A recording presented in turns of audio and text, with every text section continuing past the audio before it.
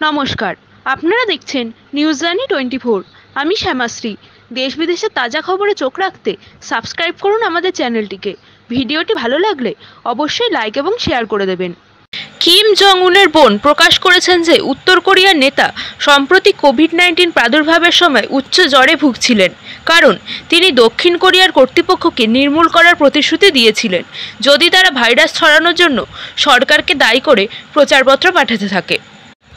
বৃহস্পতিবার সরকারি Korean Central News Agency report করেছে যে লিফলেটগুলি উত্তরে সম্প্রতি কোভিড নাইন্টিন প্রাদুর্ভাবের কারণ বলে সন্দেহজনক দাবির পুনরাবৃত্তি করে।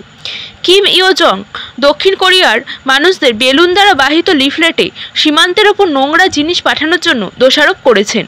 কিম ইয়োজন একটি বক্তৃতায় বলেছিলেন যে, উত্তর কোরিয়ার নেতা জ্বরে আক্রান্ত হওয়ার সময় গুরুতর অসুস্থ ছিলেন। কেসিএনএ অনুসারে।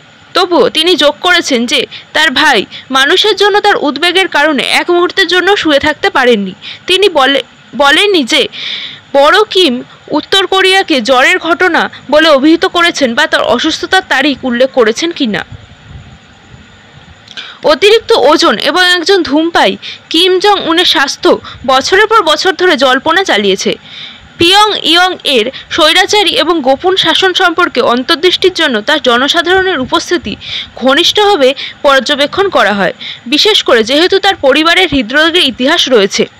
কিম জন উন গত মাসে রাষ্ট্রীয় মিডিয়াতে প্রায় সতেরো দিন উপস্থিত ছিলেন না। যদিও উত্তর কোরিয়ার নেতা প্রায়শই গ্রীষ্মে তা সমুদ্র তীরবর্তী প্রাসাদে এবং মেগায়চে সময় কাটানোর জন্য দৃশ্যের বাইরে চলে যান। তিনি বুধবার একটি ক্ষমতাসীন দলের সভায় যোগ দিয়েছিলেন, যেখানে তিনি মহান কোয়ারেন্টাইন যুদ্ধে জয় দাবি করেছিলেন।